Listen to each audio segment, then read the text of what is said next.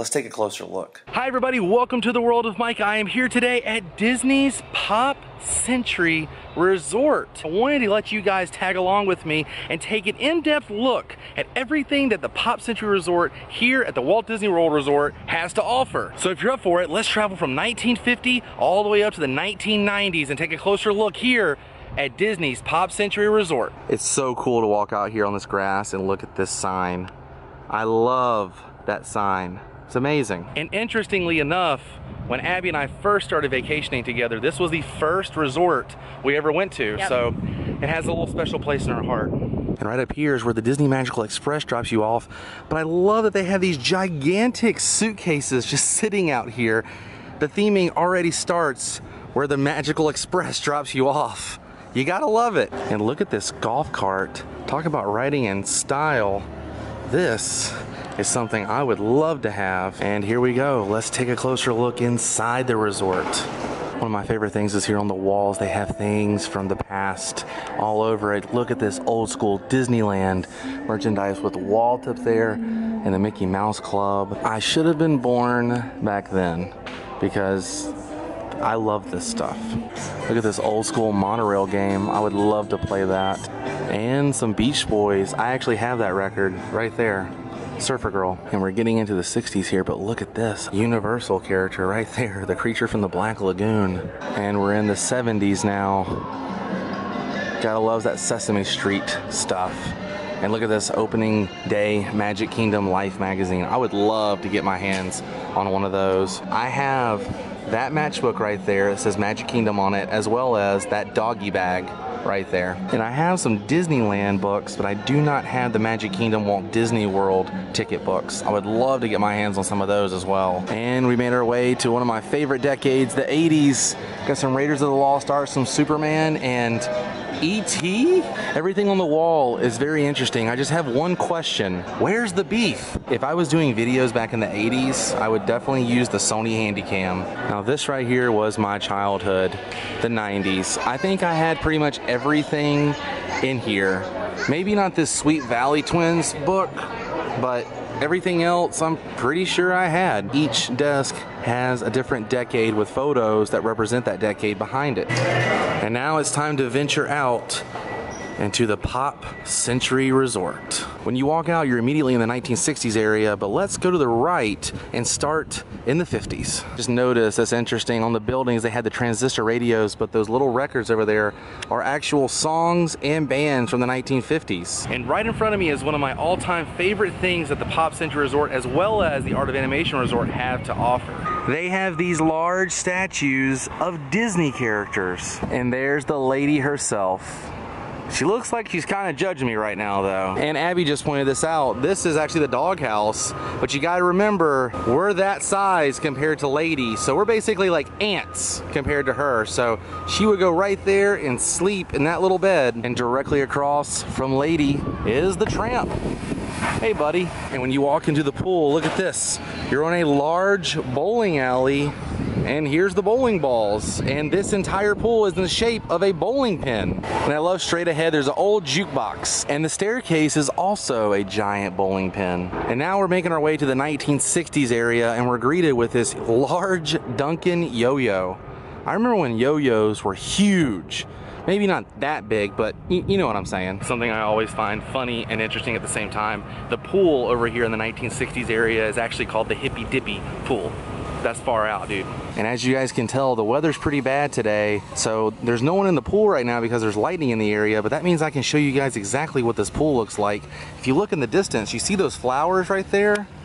That is exactly what this pool is the shape of. You guys dig it? And as you leave this pool, you're greeted by a huge tub of Play-Doh.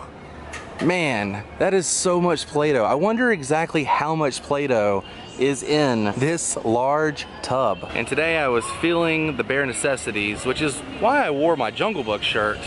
And I'm so thankful that Baloo and Mowgli decided to show up too. Look how large Baloo is.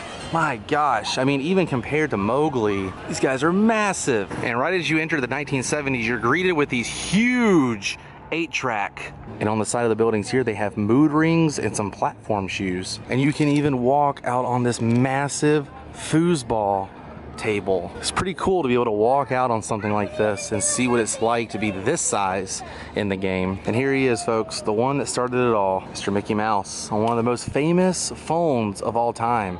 You can still find these phones inside guest relations throughout the Disney Resort.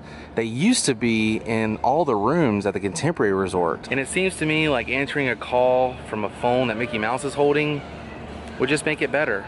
I've always wanted one of these. And directly across from Mickey Mouse is the big wheel. And I mean, this is a very, very big wheel. I had a big wheel when I was a kid. Mine was Batman, but I do remember these basic big big wheels, especially the handbrake right here. If you get this sucker going really fast down a hill and pull that back immediately, you are gonna do some awesome hydroplaning. And you can walk up here and they have Twister. You can play Twister out here with some friends. And here's the little spinny thing. My right hand would be on red and green. And seeing that green and red are that far apart, I don't think I could do it. And that's that for the 70s. And right over here is Hourglass Lake that leads to Disney's Art of Animation. But as you're walking towards it, they have these little signs posted all the way down the walkway that give you little facts from different decades. Like right here, 1983, the last episode of MASH draws the largest audience for a single TV show, 125 million viewers. And now as we make our way into one of my favorite decades, we're greeted by this giant Rubik's Cube. It almost looks like it could fit in the palm of my hand from this angle and I'm walking on this massive keyboard right here. Look at that compared to my hand. And straight ahead of me is one of my all-time favorite Disney characters, Mr. Roger Rabbit. I love the fact that he's standing on some turpentine, but also the fact that there's Toontown right behind him. And you gotta love how the Toontown buildings look like faces. I also love that there's the Pac-Man ghost on the side of the buildings here, as well as Pac-Man himself. And this right here just makes me feel a little old. The 90s, classic. When did the 90s become classic? The 90s were only like what, a couple of years ago, right? And right here is this large computer, but if you look right over here, check that out says Disney's MGM Studios. And Abby just pointed out that that's the 25th anniversary castle. And look right next to it is the old test track. And right up here on this little browser window, they're talking about Disney's Animal Kingdom opening today on the old abcnews.com. And I found a little hidden Mickey. look at this large stack of floppy disk right over here.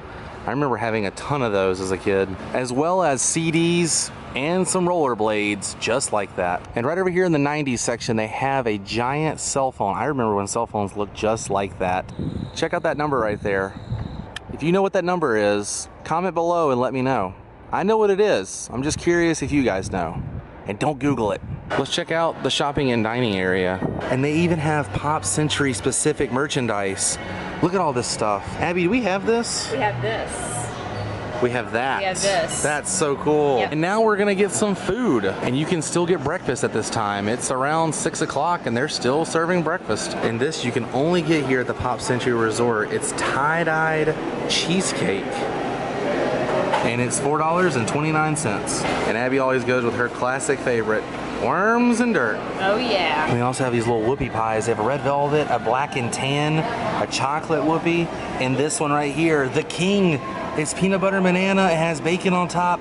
It's it's like it was made for me, but it, in actuality, it was made in honor of Elvis. And then they have the Oreo cupcake. And we decided to eat while we were here. I got the salmon burger with bacon. Has like a lemon aioli sauce on it and some fries. And they gave me a pretty good bit of fries. And Abby got the salmon, some kind of vegetable thing over here, like a melody, and mashed potatoes and gravy, as well as the good old-fashioned dirt and worms. So thanks for watching and thanks for taking a closer look with me at the Disney Pop Century Resort here at the Walt Disney World Resort. I had a lot of fun walking around through the 50s all the way up to the 90s with you guys and I hope you guys had fun too. Be sure to visit my website worldofmicah.com and subscribe to this channel if you want to see more videos youtube.com slash worldofmica. Until next time everybody, stay weird. Goodbye.